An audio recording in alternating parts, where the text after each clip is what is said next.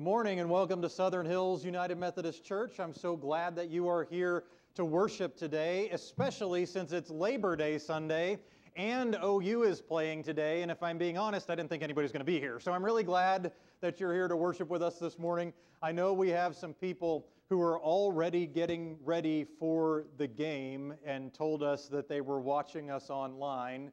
Uh, so we want you to know that we're upholding you in prayer. We want you to feel super guilty for not being here with us this morning.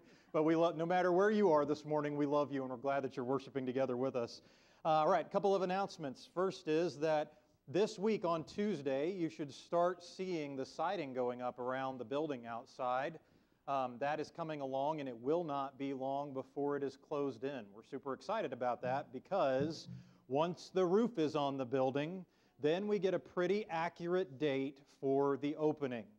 Once we can get the opening date firmly set in warm jello, then we'll start working toward planning for the service that we're going to have in there. We're going to do a lot of fun things next year. If you're wondering, right now we're thinking it will probably be sometime around March that we get to take possession of the building, give or take. Could be in February, could be in April. A lot of that depends upon the weather. But It'll be sometime in the spring. So, uh, by the grace of God, we're looking forward to maybe having a, a fun time with an Easter service in there and doing some other activities around Lent and Easter in the spring. It's going to be a blast. All right, next week, next Sunday is Back to Church Sunday, and that means that everything is getting ready to kick off here at Southern Hills again. Uh, show is going to start back up.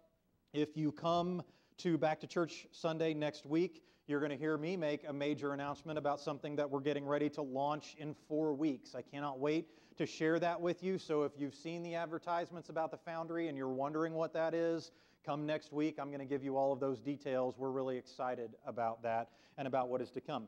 We are uh, also hosting this coming Wednesday night. So, in preparation for everything starting again, Wednesday evening, we're hosting an all church volunteer appreciation dinner.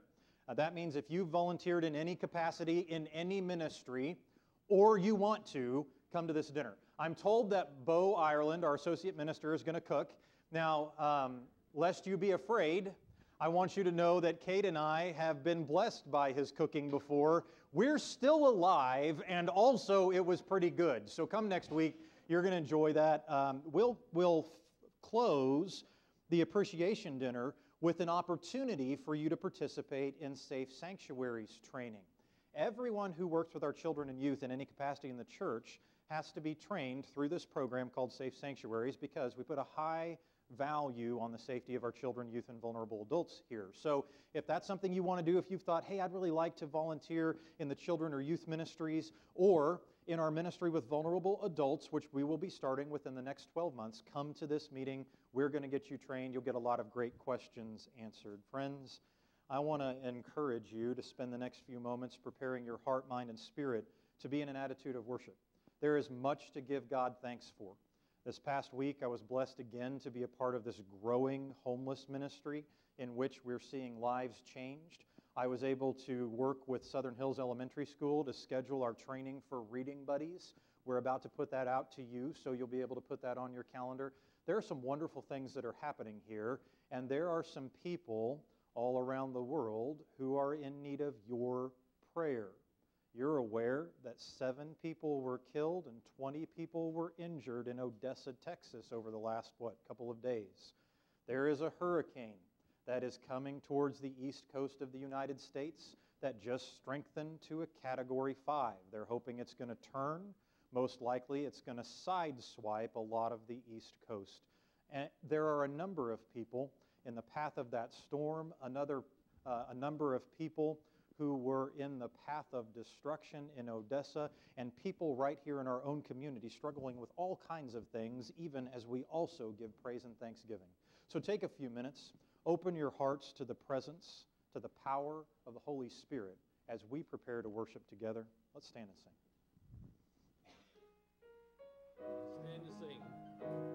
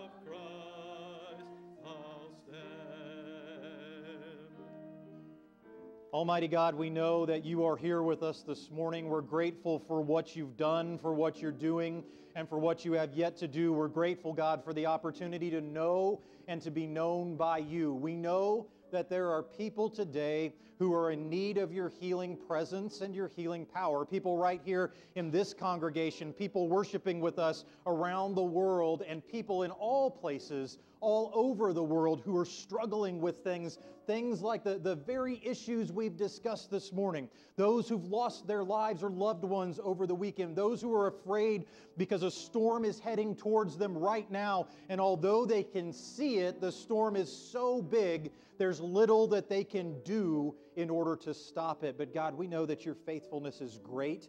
We know that your mercy is new each and every morning. We pray, God, that you would be with us, that our faithfulness would, fa- would find fruit as we rest in the newness of your grace and your mercy as we worship you today in spirit and in truth.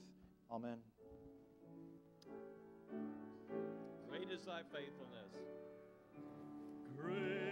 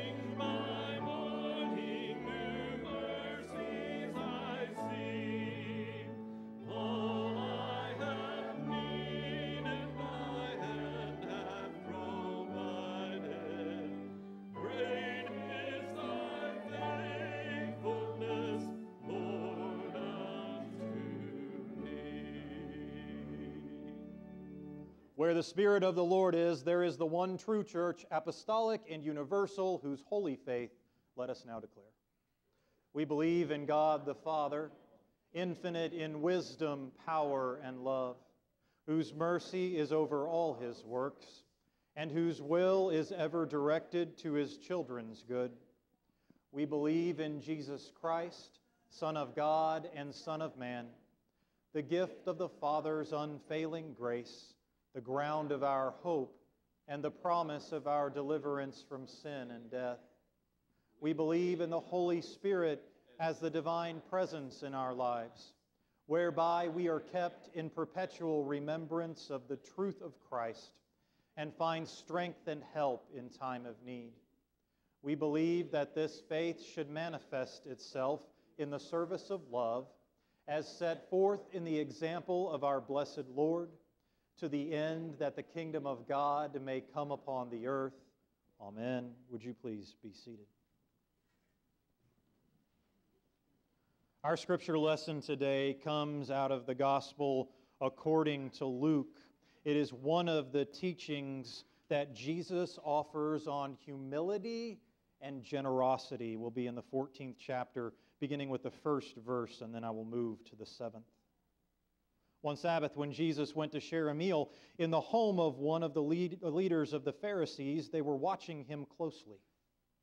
When Jesus noticed how the guests sought out the best seats at the table, he told them a parable.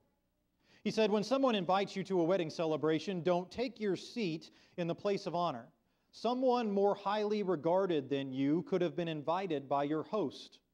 The host who invited both of you will come and say to you, Give your seat to this other person.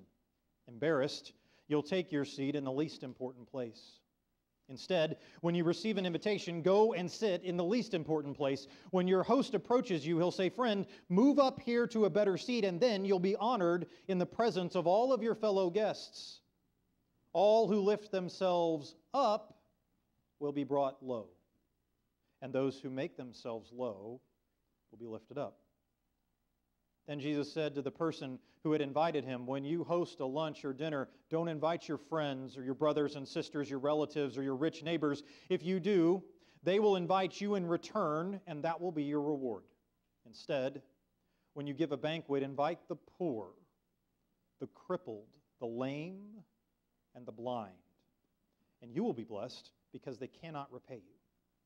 Instead, you will be repaid when the just are resurrected. Jesus is the Word of God for the people of God. Thanks be to God. Amen. I've got to tell you that over the course of the last few weeks, I have had uh, opportunity after opportunity to talk about what you are doing in the life of uh, the people of the Oklahoma City metro area and in the lives of people around the world. Uh, one day, a few years ago, we noticed that more people were tuning in to our virtual campus than we thought was really happening. And we took a look at that and we decided to use a software program that would tell us where they were coming from. And when we did, we found out that over time, we were reaching people in a variety of countries with the, the message, the DNA that God has stamped on Southern Hills. And that was remarkable. Um, last year we reached 38 people, or 38 different countries, excuse me. Um, this year we have so far been in 54 countries, and I, I, get phone calls all the time from people around the connection in Oklahoma saying, "Hey, we know that you're doing this virtual campus. Can you help us to figure out how to do this, especially in our small church without many resources?" Which, of course, we absolutely love to do because as the AV team and the leadership board and those involved in that ministry have encountered this over the years, um, we have had one simple guiding philosophy, and that is that while this is not the case for most of them, uh, a lot of the places that we find geographically where our virtual campus is connecting with people, there are regular people repeating every week over and over again, and every now and then we'll have a one off visitor from a random country. But you know, we'll look at those one off visitors from random countries. Like we have people regularly who tune in every Sunday from the Philippines and from China and from England and from Australia and from India and from parts of Russia and the Ukraine. And, and, I would love to tell you that this is all very intentional, but we have absolutely no idea why they're tuning in to watch us on Sunday mornings. We love it though. Now, there are other places um, like, uh, oh gosh, like in Ireland or in Sweden where we'll have one, one or two uh, people tune in throughout the course of a year. And so we're looking at those, and we're looking at, at how some of these countries will just have one or two people tune in in the course of a year, and we'll think to ourselves, you know what? How else would we have gotten God's message from Southern Hills into those countries at any time, much less once or twice within the last year? We're so grateful to be a part of what God is doing here. Your whole staff is, all of the clergy appointed here are. All of that is possible and has been made possible because of your generosity. So we want to say a very heartfelt thank you for the ministries that you have enabled this year. We know that some of those places where people are tuning in regularly are countries where Christianity is illegal to practice and or to share. And yet in the midst of those countries, we have people who are regularly tuning into what we're doing here. We want to investigate that. We want to find out if there's a way we can partner with those people in those places because we wonder if some of those places are underground house churches that are looking for ways to receive and share the gospel message. That is made possible because of your generosity. Let's pray together. Gracious and giving God, wherever those people are who are connected to our family, wherever those people are who are connected to your family, the family that we are a part of, the family, God, of saints through the ages, the body of Christ that we are just a local expression of. Wherever those people are this morning, we pray, God, that your holy blessings would rain down upon them. We pray, God, that you would uphold them. We pray, God, that you would be with them through times of adversity and trial. And we pray, God, that you would be with them through the joys that come from celebrating life together in the body of Christ. We pray that your Holy Spirit would be in this place as we seek to give back to you out of what you have given to us. Bless these gifts that they might make a kingdom difference worldwide in your name.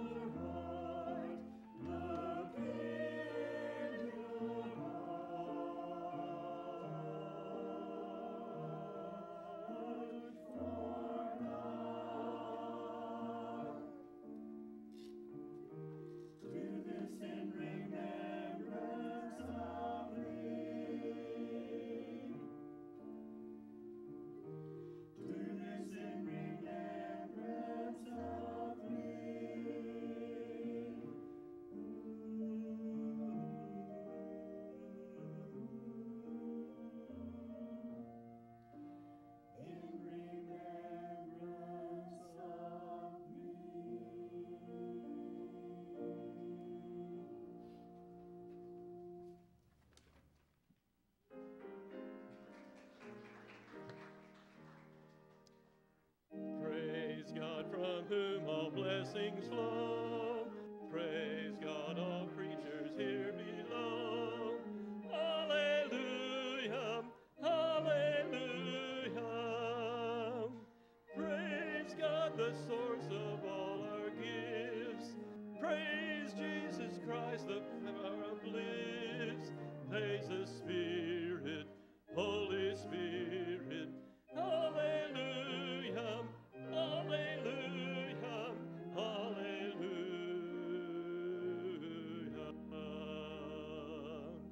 Would you please be seated? And as you are, I want to take a minute and go ahead and release all the kiddos to go with Mrs. Schultz. She is at the back of the sanctuary and she is ready to take you to Children's Church this morning. So you can meet up with her right back there. She's got something great planned for you.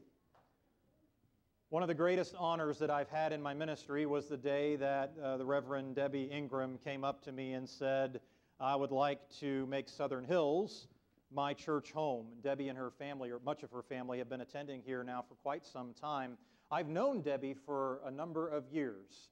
Um, as we were uh, colleagues in ministry, clergy in the United Methodist Church have their membership in the annual conference, and so that's kind of our church. So, like you would in any church, we've known each other for a long time, but I began to interview together with her on the Doctrine and Polity team of the Board of Ordained Ministry, which is where we prepare people for licensed and ordained ministry in the United Methodist Church.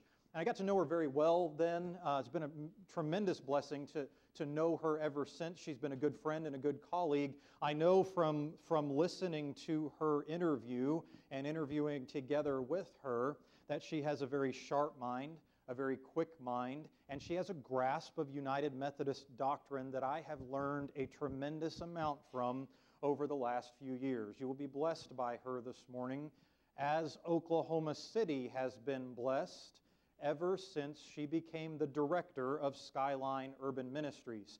Debbie has had a, a, career in pastoral ministry, but some years ago she was offered an appointment to be the director out at Skyline. Now, Skyline has always had vibrant ministries to the people of uh, the Oklahoma City metro area, but never have those ministries been more vital than since Debbie has come to take the helm there. She's expanded ministries that we have benefited from. The homeless outreach ministry was her vision.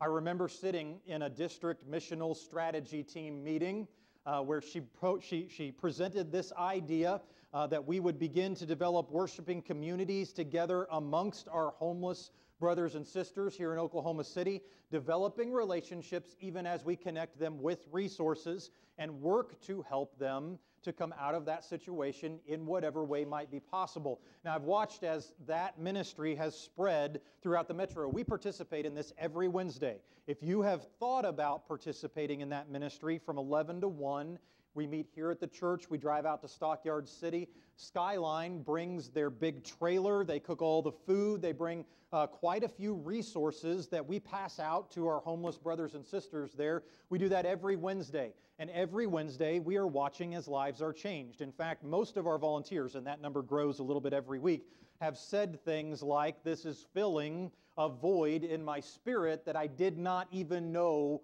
was there.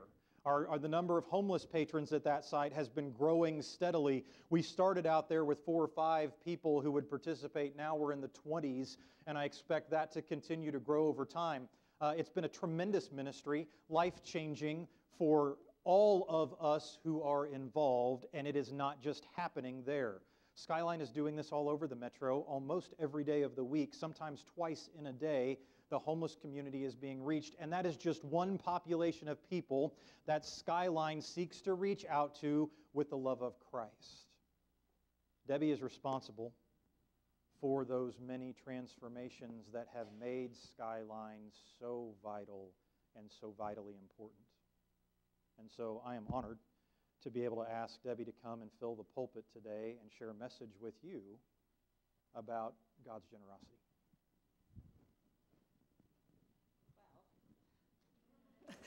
Bit of a buildup, and I can see my, my family, my children, and family of my heart, my grandchildren are like, is that really our Grams that they're talking about up there? We're not sure we recognize that person. Uh, and nothing uh, can be done by one alone. It's all community. And knowing that I have staff sitting out here, I have a great staff that has helped make all those transitions possible. I have great volunteers that have come from Southern Hills and other places that have made those all those things possible. Um, and then, of course, I have great financial and in-kind gift support from churches all over, and that includes y'all too. So thank you for helping serve those who are the least and the lost and those that are in the shadows. Um, and so I can take off my executive director hat when I'm just in the pulpit, which is intimidating enough.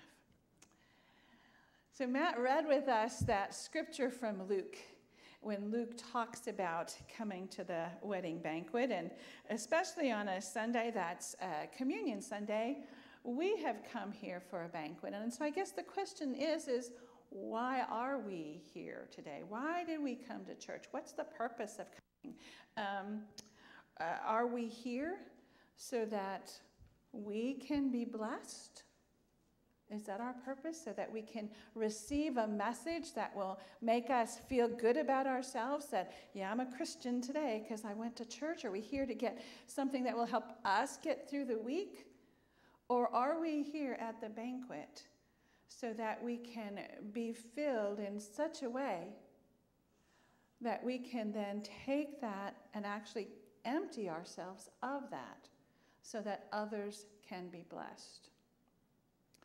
And that's the beginning of where Luke's par- the parable in Luke that Jesus teaches us is about. Um, it's about why are you at the banquet and how are you going to behave at the banquet? Some folks at that banquet came so they could be recognized. And we can kind of use recognition and blessing as synonymous here. They came so that they could get the front table the front seat, the seat to the right hand of the host. And Jesus said, You know, you really shouldn't just come in and take the front seat when you go to a banquet. You need to take the lower seat. And the word in one of the translations that's used when he talks about being low or being brought down low is humble. You need to humble yourself. And we sometimes get confused or misunderstand what being humble means. Sometimes we think it means groveling and, and, and conning ourselves as less. But that's not what humility is. That's not what being humble is.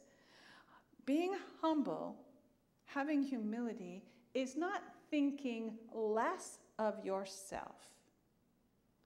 Humility is thinking of yourself less. Humility is not thinking less of yourself. I thought I was this big, but I'm this big. Humility is. Humility is thinking less about yourself, spending less time, thought, less energy about you, and thinking more about others. That's what Jesus is saying. Skyline just had their annual gala, and this is the, my third rodeo with this, my third time through. And each time I forget as we get closer and closer to the, to the gala event about, is about how much people want recognition. And I try to accept some of that, but this year we had 55 tables that we sold tickets and sponsorships to. And there were lots of folks who just bought tickets for one or two at $125. It was a fundraiser, it was expensive. I had folks, many that bought a whole, sponsored a table for $1,500. And then I had more than I expected sponsor tables at $5,000. And that was amazing. And we haven't announced the final, but we actually were able to raise about 95,000. We made 95,000 on this gala. So it really was helpful for Skyline. Um, but as we get closer, I start getting the phone calls. Right, this is so and so, and we, of course, have a $5,000 sponsorship. And so we're just wondering table will you put us at? It's like, what? you know, yes, we, we are expecting to be close to the speaker, right? You will be putting us at the front, right? It's like, you know, I only have three tables that are in the front row in front of the stage. It's only three folks, three tables worth of folks. I can sit there. I cannot put you all there. Someone has got to be not only at the second row, but in the fifth row, and the eighth row, and in the corner.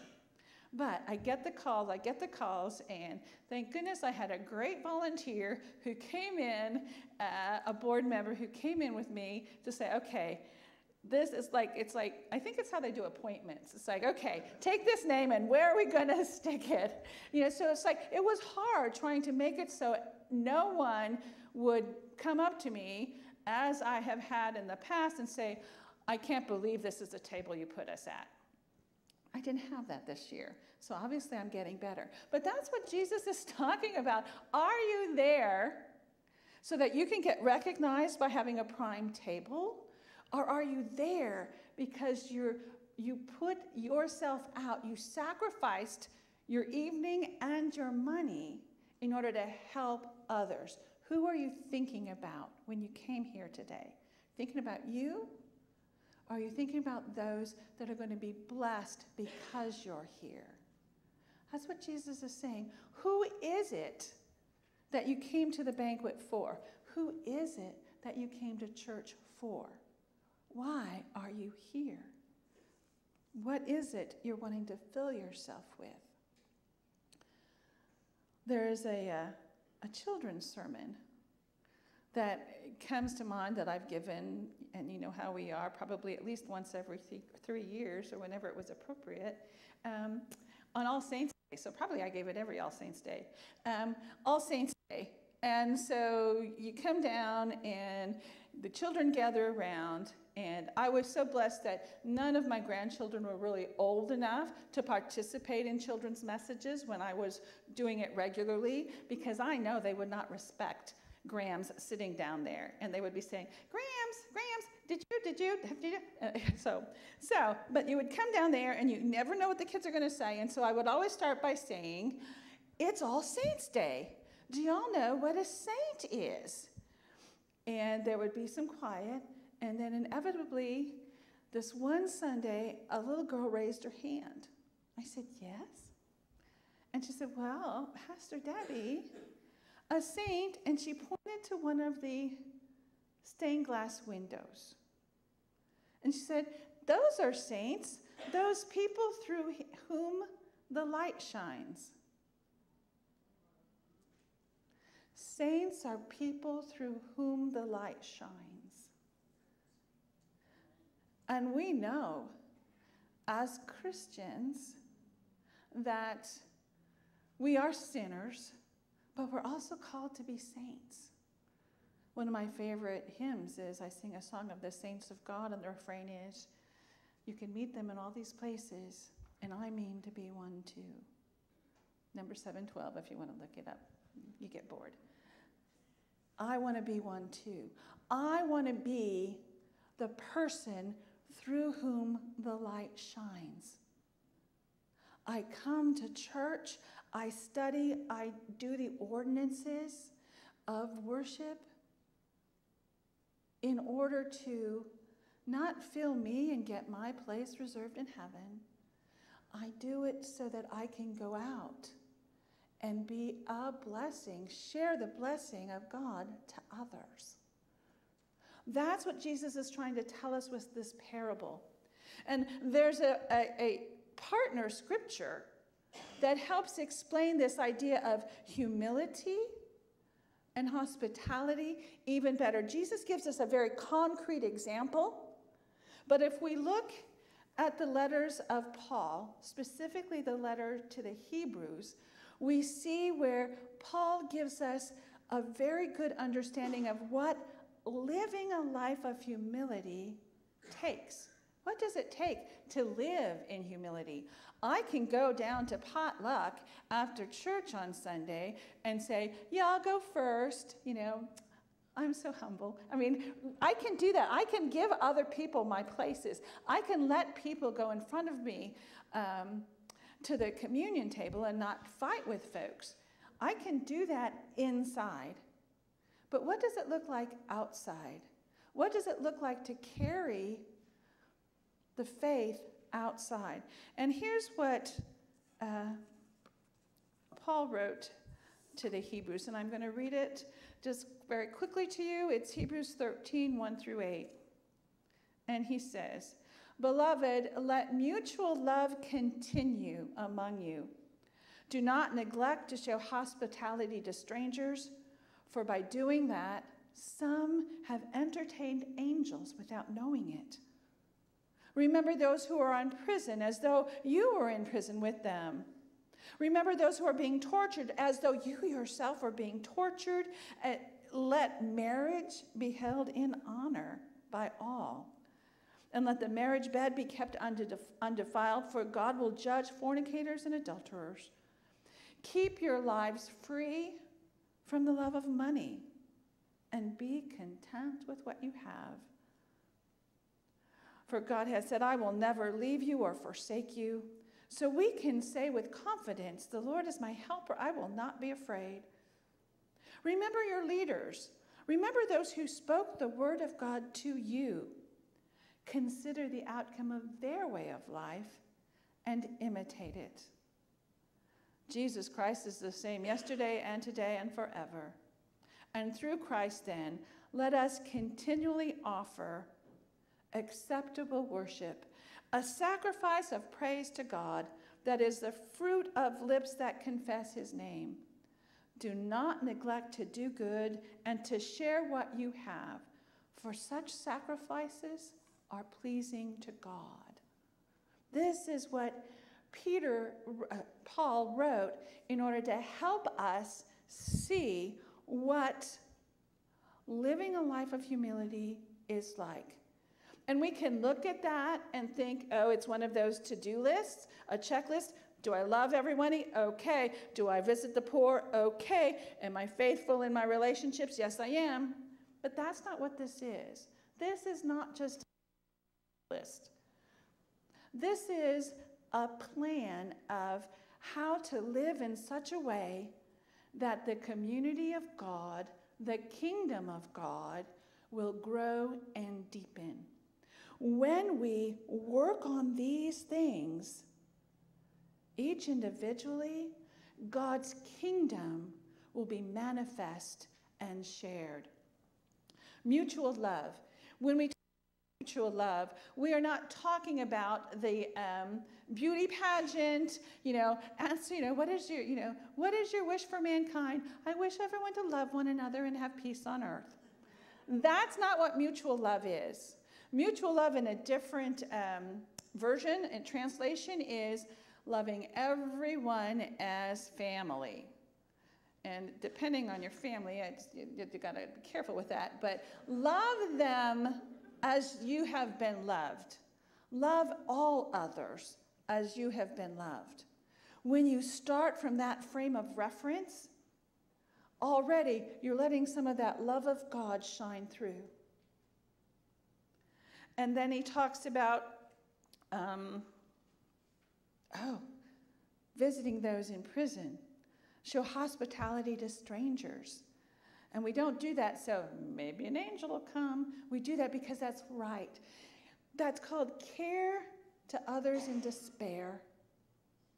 We are called to care for others who are hurting in whatever kind of hurt they are. And it's one thing to care for those way on the coast, we don't know any of them, who are facing the hurricane. But Paul is talking something deeper. We may think that we don't know anyone in our community who's being tortured, but, oh, beloved, we do. Have you ever had to live with depression? Depression is torture for he or she suffering from it. Mental illness is torture for he or she suffering from it. And when you go out, as you do with your street outreach, you are going to see folks who are being tortured. And your job is to care for them with mutual love. Mutual love, care for those who are in distress, and then there's fidelity. In the scriptures, they talk about marriage and fidelity in marriage, but I would say that involves fidelity in any relationship, being faithful and true and your best self, whether it's a a spouse, a partner, your child. Your sister, even your work, your church, being faithful. And just because they changed the pews and the time of worship is not a good reason to take a hike. It's either your family and you're connected or you're not. Be faithful. Care for them, especially in transition. Love them. Then it talks about love of money and contentment. There is nothing wrong with being wealthy. There is something wrong, Jesus says, with loving your wealth so much that you cannot sacrifice it, that you cannot share it, that it is your focus. The word in Paul's epistle is content. I think our Hebrew word would be shalom. Find shalom regardless of the circumstances. Be content. And I told you about our gala. It was a big one, and we had spent a lot of money and were needing to make sure we made that money. And I do not necessarily practice what I preach, as Valerie or any of the rest of my staff would attest, as they worked with me that last two weeks before the gala and before I went on vacation. It's like, okay, don't go in Debbie's office because it's not a happy place. There is no shalom in that office right now. And it was stressful. If I could have centered myself a little bit more to find that shalom, find that contentment that there is a gala, find that place. We are the vessels of God's blessing when we can be that steady presence in the face of others' turmoil. Then he talks about constancy. Paul says, Remember those folks who first brought you the Word of God? Do you remember your first? Who used to teach you? Who taught you God is great, God is good? Who taught you Jesus loves me, this I know? Who were those folks in your life? A parent, a grandparent? Is there a Sunday school teacher that really planted a seed that changed your way of life? Paul says, think about those folks. Think about what their lives look like. Emulate those. Live that life. Live that sacrificial life. And then finally, Paul talks about acceptable worship and what acceptable worship is. And we have others throughout the scriptures that talk about that. My favorite is Micah, who says, What does the Lord want from you? He says, To walk To speak justice, love kindness, and walk humbly with God. And I think before that, he does say, And God hates your sacrifices, they stink. He might not have said stink, but I mean, he said, God hates your blood your blood sacrifices. That's not what God wants. Acceptable worship has very little to do what we do in this room at 1045. Because if we started getting down to it, it's like, is this acceptable worship? And 8 not so much. Maybe 8:15 is acceptable worship and we're not here at 10:45. And goodness knows went down the street or up the road or at some of those other Methodist churches. It has very little to do with that. Acceptable worship has to do with offering a sacrifice of praise. Sacrifice of praise. Sacrifice is a free gift, that which is freely offered. Of praise means to God. So, a sacrifice of praise is offering up freely to God what God most wants, which is yourself, which takes us all the way back to being humble. It has to do with getting us out of the way so that God can shine through so that God can pour God's blessings out. So that we can go out into the community and set table with those others and have them never feel like an other. So that they know we are Christians. There's a meme. I, I'm a Facebook junkie. What can I say?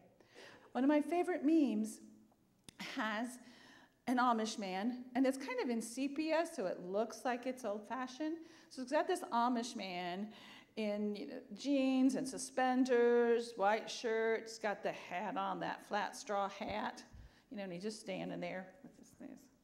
And the guy next to him is obviously modern dress. I think he might even have a camera or a cell phone with him. And he looks at him and says, Hey, Mr. Amish man, are you a Christian? And his answer was, My answer would be, might be now. It's well, I don't know. You have to ask my neighbor. Would your neighbors say you were a Christian? Would your coworkers say you were a Christian? Would those you meet say you were a Christian? Jesus and Paul are saying these are the things that are the marks of a Christian life, not just profession of words. Acceptable worship is the fruit of the words you say in your living. May we go forth today as one of those saints so that the light will shine through us and bless those in our midst. In the name of the Creator, Christ, and Spirit, amen.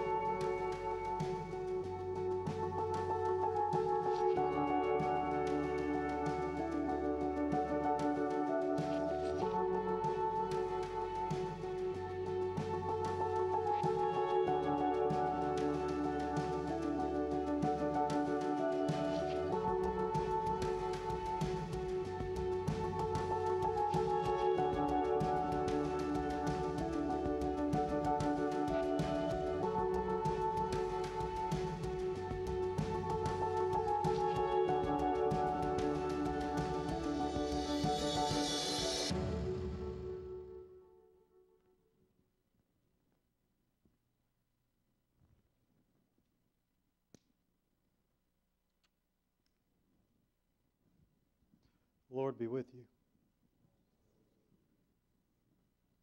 Lift up your hearts.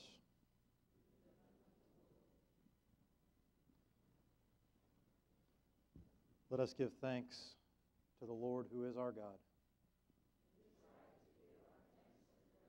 It is right, and it's a good and a joyful thing always and everywhere to give thanks to you, God Almighty, creator of heaven and earth. And so, with your people on earth and all the company of heaven, we praise your name and join their unending hymn.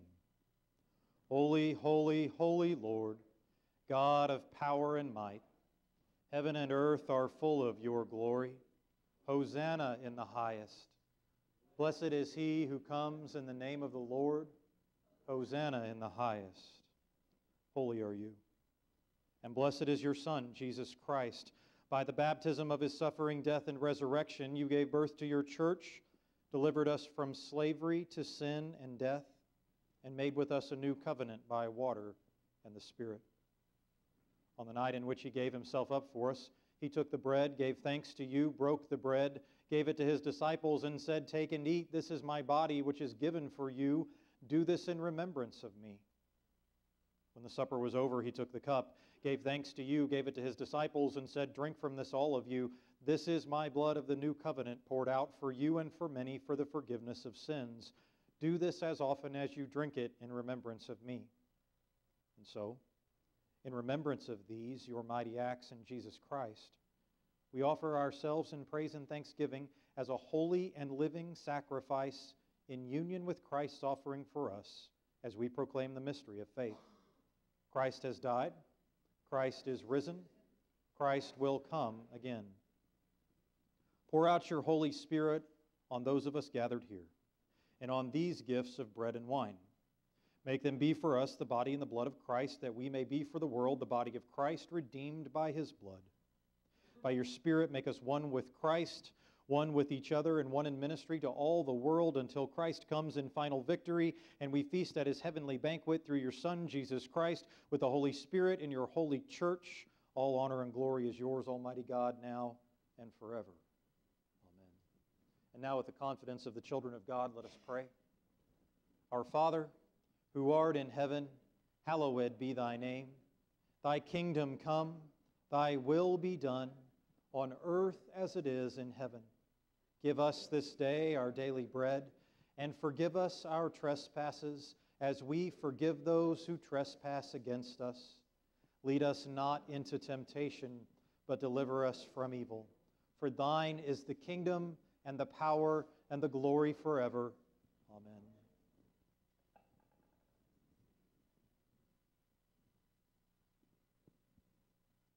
This is the body of Christ that was broken for us.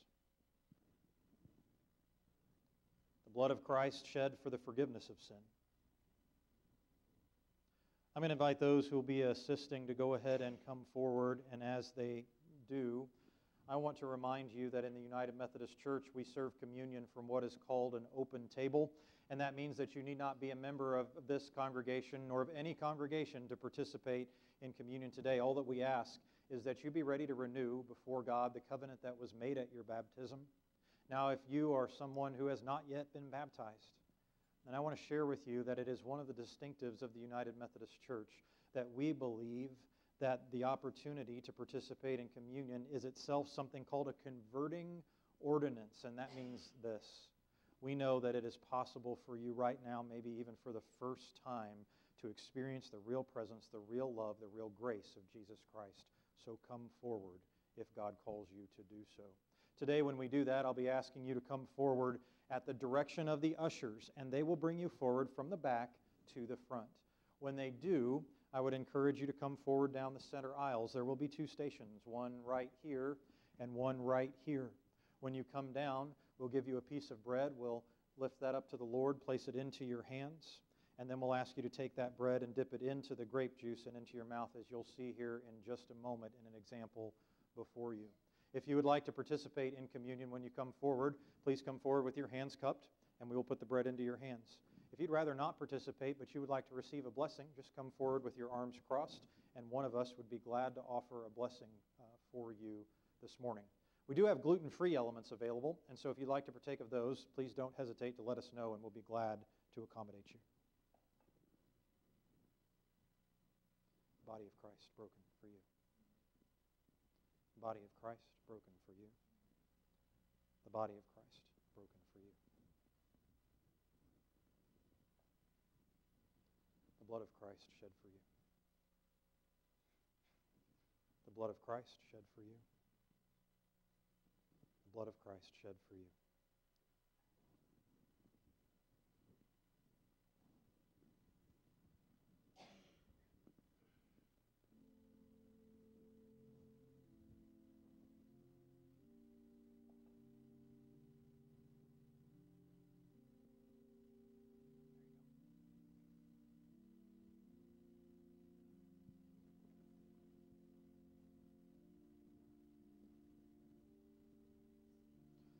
The Lord's table is open at the, as the ushers direct you. I invite you to come.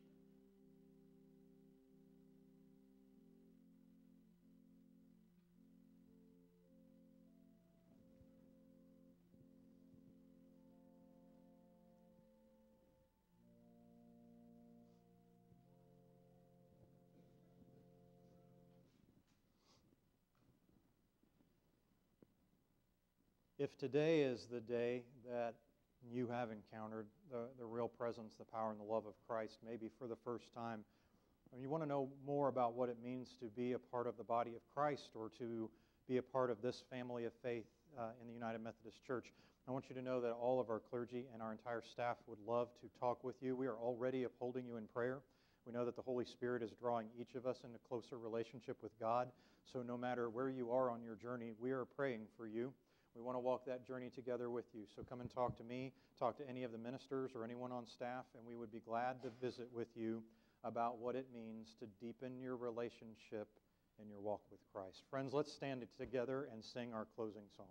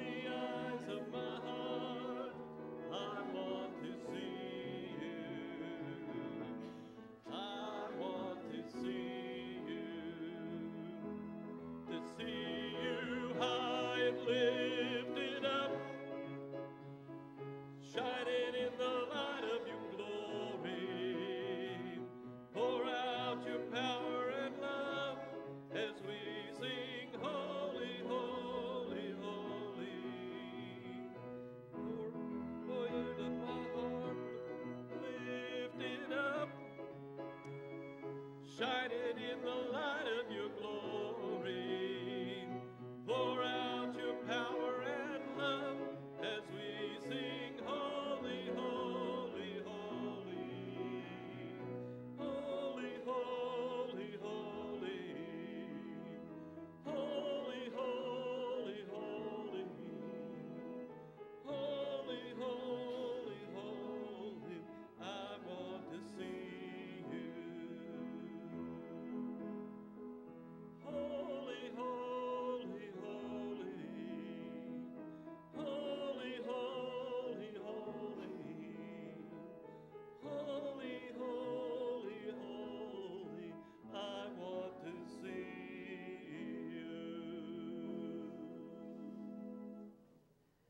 Beloved, as we start with a blessing, I will remind you that blessings are received with head up and hands open so that they may be filled with that blessing. And so, may the Lord bless you and keep you. May the Lord make his face to shine upon you. May the Lord lift up his countenance upon you and give you peace, both now and forevermore. And all God's people say, Amen. Amen.